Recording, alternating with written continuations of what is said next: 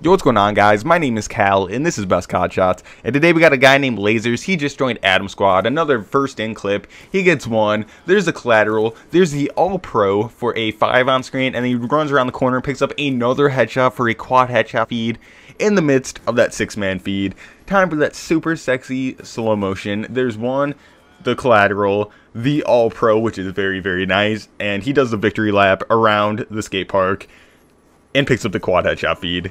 It's such an amazing clip for a first in, so be sure to check out the player's channel in the description below, and check out my channel if you enjoyed the commentary. But anyways, it's been your boy Cal, and I'm out of here.